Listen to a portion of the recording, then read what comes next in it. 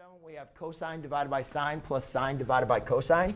Um, again, we need to, if we're looking at, uh, you know, one of the first things I told you guys is if you have operations, try to apply the operation. If you have, if it says to add, try to see what you can go ahead and add. So Kelsey, when looking at this, um, I noticed that, remember, just the same thing. If I had 3 fourths plus 5 thirds, I can't combine them unless I have an else, unless I have common denominators. So to find common denominators, I'd have to determine what is the LCD, which in this case is going to be 12. So therefore, I want both denominators to be in the form of 12. So to do that, I would have to multiply the left side by 3 over 3 and the right side by 4 over 4. Right? Little fraction review. OK, so now all we're doing is just doing, doing the exact same thing with trig. So if I look at these two, I say, all right, well, what would be the common denominator for sine of theta and cosine of theta? Well, the common denominator is just going to be the, the product of those, which would be cosine of theta, sine of theta. All right, so therefore, to get my common denominator, I need to multiply cosine of theta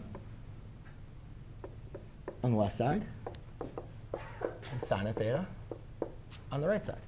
So I'm just multiplying them on the left and on the right. Yes? So putting cotangent and tangent is not right. Putting cotangent and tangent? Yeah, because I simplified. Oh, OK. Well, I mean, if you rewrite them, yeah, you're right. OK, so cotangent of theta plus sine of theta. Yeah. I'm sorry, but plus tangent theta. OK, that's fine. You didn't do anything wrong. But uh, we can still simplify that, though. You can still add cotangent and tangent. See what I'm saying? So yeah, you converted it correctly. There's nothing wrong with what you did.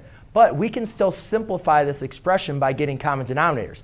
The problem with the last problem was when we had sine of theta plus cosine of theta, you can't combine those without making the expression more complicated. All right?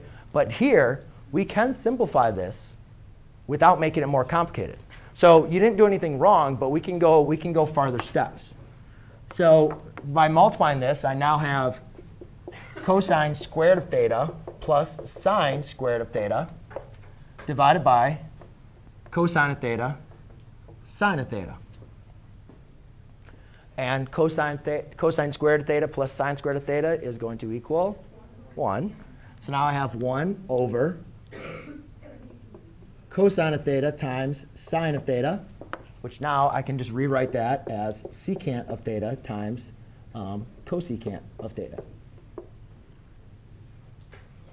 And now I've combined them into a product, which would be a simplified version for us. OK?